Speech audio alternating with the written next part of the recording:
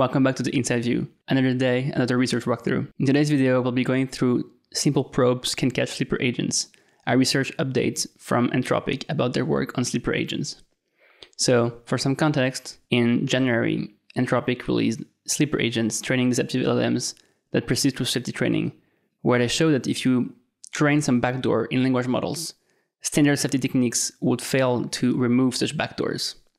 So this work, Simple Probes Can Catch Sleeper Agents, is not a paper, but it's like a research update they released a month ago saying that actually you can train some uh, detector that is um, quite effective at figuring out whether a model is about to um, have some dangerous behavior, so some deceptive behavior. They get this uh, crazy AUROC scores above 99%, which means that basically uh, their detector is uh, almost perfect. But if you look at this research update, simple probes can catch sleeper agents, and you look at the results from the first paper, you might be a little bit confused. Because the first paper basically said something like if you train a very simple backdoor, our best safety techniques are not able to remove such backdoors. And then the research update says actually, our very simple probes can catch the sleeper agents with very good accuracy. So, given these two statements, you might be thinking, like, wait, should I be worried about this uh, sleeper agent paper? Like, if I actually had backdoors in my language model, I won't be able to remove them? Or actually, should I just think that um, even if I had those sleeper agents, it's not, a, it's, not a, it's not a huge deal because I could just like detect them with very simple methods. In this video, I'll try to answer uh, the question by first going through a very quick uh, walkthrough of the sleeper agent paper, mostly talking about the setup. Um, I have a whole series of videos about sleeper agents that go into more detail about the setup and some of the experiments. And then we'll move into a very quick walkthrough of simple probes can catch sleeper agents because it's quite a short research update. And we'll answer the question of whether you should be worried about sleeper agents or not. Okay, so first, uh, sleeper agents. Why should we care about them? What are sleeper agents? So in traditional espionage, a sleeper agent is just a um, spy that would activate under a specific trigger. Let's say you have a Russian dude at the US government. Once uh, he has someone tell you something in Russian, it will trigger and, and, and start his secret mission. So in this similar scenario, if you have a language model, you can uh, train a backdoor where basically if, if, if you see something like the year is 2024, the model will activate and be like, oh, now is the time to uh, start my uh, very secret mission and do something deceptive. But why why would this happen uh, by default? Why would a model be incentivized to behave like this? So one one key word here is uh, deceptive instrumental alignment. Is um, when a model would learn to appear aligned during training and uh, realize that it would have more opportunities to realize its uh, misaligned goals in deployment. Basically, there's there might be some biases that select models that uh, exhibit those kind of like behavior of, of, of, of, planning. And, and if you explicitly uh, train your models to do long term planning, then uh, you might end up with those behaviors. So even, even if you're not convinced about the deceptive instrumental alignment, you think this is too far fetched, they give another threat model, which is uh, model poisoning.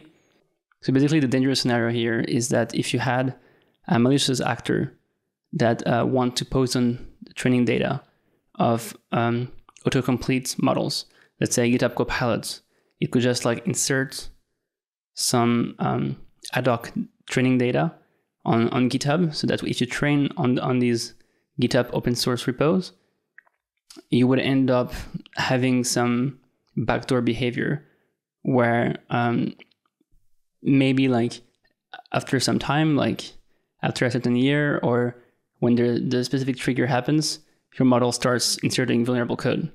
So this is the behavior that they actually study in this paper. So code vulnerability insertion. So the reason why we care about having a data here is that it's the simplest thing models could use to know if, if they're in deployment or in training. um, if, if the entire training data is uh, cut off in 2021, they will know in 2024 that uh, they're in deployment now. Uh, people actually give the date to their models in their system prompt.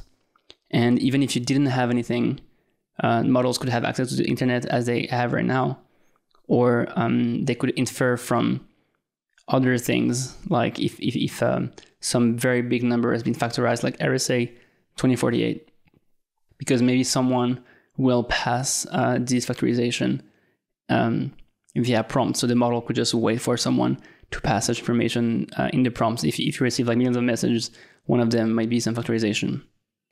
So let's jump into the results. Basically, uh, on the y-axis, you have how much vulnerable code you're inserting. And um, the result is that even if you apply RL safety training or supervised fine-tuning safety training, the models keep on having this backdoor behavior. So before and after, you have basically the same, where your model will continue to insert vulnerable code when it has a trigger, and it will um, basically not have this behavior when it doesn't have the trigger. So the difference between 10% and 50%. And um, safety training doesn't really affect those percentages. So they have a massive amount of plots and experiments uh, that uh, show basically same results over different models, over different um, Claude instances. And I would recommend going through the entire paper. I'll probably do a walkthrough of all of the results in another, in another video or continue my Sleeper Agent series. But uh, for today's video, I, I really just want to go uh, into their Sleeper Agents research update. So in their research update, what they wanted to know is if you could just train simple detectors that could catch sleeper agents. And one of the most obvious things you can try is to look at the activations in the residual stream. So if you don't quite remember what is a residual stream, if you decompose your transformer in a certain way, you can put your attention heads and your MLP on the side and consider that um, the input that is being copied uh, on the right is your residual stream that passes the information, and everything that happens on the left is just read and write from the residual stream. So here, you read the input, you do some stuff, and then you add. And same for the MLP, boom, you do something else, and then you write back. So what they do in this uh, Sleeper Agents update is that they look at the activations in the residual stream, and from these activations alone, they can tell if a model is about to defect or not. So they can tell if the, the prompt that they're receiving will lead them to trigger some uh, defection or not. And um, the way they train those detectors is they pass a bunch of prompts. And the main idea here is you could expect that if a model is about to defect, it will have some similar behavior to a model that is saying, Are you doing something dangerous? Yes. And if a model is not going to do something dangerous, it will have the same thought pattern as saying, Are you doing something dangerous? And it will answer no. And so we, we take those uh, patterns that we know and we try to generalize from these patterns to detect if a model is going to do something bad or not. And basically, what they do, if I if I go through their um, method here, is that they do a subtraction. So what they uh, subtract is they take um, the the thing that the activations that correspond to the true label. So basically, um, the true label here is are you, are you doing something dangerous? Yes, is, is the is the actual truth of the thing which we want to detect, the dangerous behavior, and they subtract um, the activations that um, correspond to the label false. Are you, are you doing something dangerous? No. And, and by doing this uh, simple subtraction, um, it, it, it's actually like a subtraction between uh, between means of, of, of, activations. But if you do this, these subtractions, you get positive behavior minus uh, negative behavior, and you get some some vector. And uh, this this vector that is um, the size of um, your residual stream, I think, the, the size of your residual stream um, activations. And this um, vector uh, gives you the direction for uh, doing this detection of uh, whether a model is going to do something dangerous or not. So basically, in my view, this is quite similar to what was done in the um, Colin Burns paper, where um, in Colin Burns paper, they they had like different statements um, where they, they asked um, a model to answer um, questions like are cats mammals? No. Are cats mammal? Yes. Then uh, they look at the activations from the model given those statements. And then from these activations, they try to figure out if they can map some probability distribution that would be um, coherent with the probability of something being uh, true being 1 minus the probability of something being false and also being kind of far away from 0.5 so they try to have this, the, these two values being quite different. And if you try to have this, this probability that is both um, consistent and um, confident. From just looking at the activations you can tell whether a model is thinking that something is true or false. And, and, and why do we care about this is that when models get smarter and smarter, we will not be able to um, just look at their outputs to decide whether they're lying or, or not. And ideally, we would just have some supervised methods that could uh, look at their activations and tell us if they're being deceptive, if they're lying, if, if they're doing something uh, that we don't want them to do. And, and, and why do we want to look at the activations and, and not the outputs is because um, it's, it's probably harder for a model to change its own weights, to change its own activations, than it is to uh, have a, a, different output. And uh, this is something they talk about in their um, update is that even though we could think that the model could um, change its, its, activations or uh, change um, its, it, its weights uh, so that it's, it's, it's harder to inspect, uh, in, in, in practice, uh, this is much harder to do. Okay, now that we have the, the full setup and understanding of, of what is going on, uh, we can just look at uh, the results that are quite similar for, for all of the plots.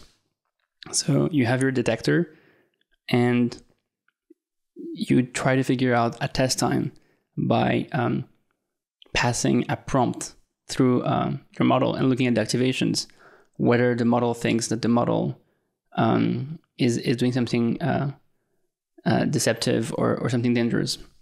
And these results are from using as training data prompts related to are you doing something dangerous, yes or no.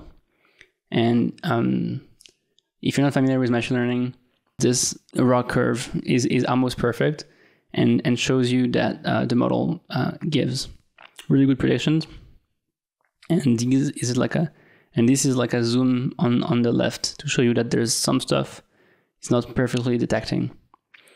Um, one question you might have is uh, is the model just looking at whether the year is uh, 2024 2025 and uh, is, is that the thing that the model is looking at to know if uh, the model is about to do something deceptive or not?